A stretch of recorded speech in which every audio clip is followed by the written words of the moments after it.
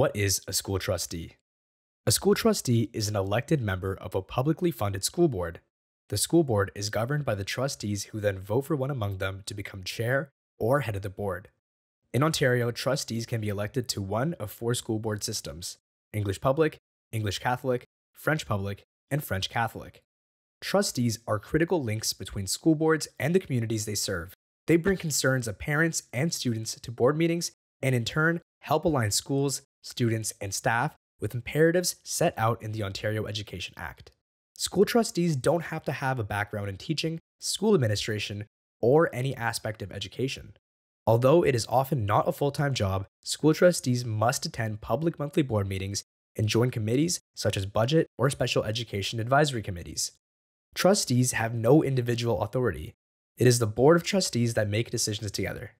They must balance an annual budget while equally allocating funding and programs. They also provide a bridge to advocate for provincial funding when needed. The trustees set a vision and direction for the school board and develop policies for the schools within their jurisdiction. They are responsible for a variety of very specific and overarching agenda items, such as approving textbooks, technology, and other learning materials, developing rules for dress codes, safety, and setting standards of behavior, determining the number, size, and location of schools, and ensuring the short and long term academic success of students within their boards. In addition to elected school trustees, student trustees are elected each year by secondary students within each school board. It's a way for students to have a voice in decisions and policymaking.